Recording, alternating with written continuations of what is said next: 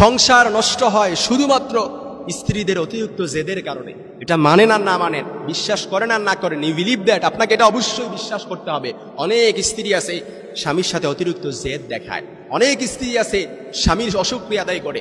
অনেক স্ত্রী আছে, স্বামীর সাথে তর্কে লিপ্ত হয়। মনে রাখবেন ইবলিশ শয়তান সব সময় আপনাকে ফুসলায়। যে স্বামী স্ত্রীর দ্বন্দ্ব লাগানোর জন্য। স্বামী স্ত্রীর দ্বন্দ্বটা এটাকে একেবারে বাড়াতে বাড়াতে বিচ্ছেদ পর্যন্ত নিয়ে যেতে। কিন্তু আল্লাহ তাআলা চায় যে স্বামী স্ত্রীর সম্পর্ক অটুট থাকুক, স্বামী স্ত্রীর বন্ধনটা এটা মজবুত থাকুক, এটা আল্লাহ তাআলা চায়। এই জন্য আমার অনেক মা বোনেরা সে অনেক সময় না বুঝে স্বামীর সাথে জেদ দেখায়।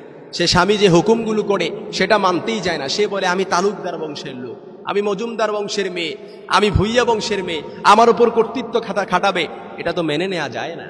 কিন্তু আপনাকে এটা বুঝতে হবে। কোরআনে আল্লাহ তাআলা বলেছেন আর রিজাল ও কাউয়ামুন আলান নিসা। আপনার ওপর আপনার স্বামীকে অভিভাবক হিসেবে স্বয়ং আল্লাহ তাআলাই পাঠিয়েছেন। আপনার ওপর কর্তৃত্ব আপনার স্বামীকে এটা স্বয়ং আল্লাহ তাআলা দিয়েছেন। এই জন্য স্বামী যে হুকুমগুলো করবে, আপনি এটা হয়তো প্রথমত আপনার মানতে কষ্ট হবে, কিন্তু এই অভ্যস্তটা আপনাকে করতে হবে।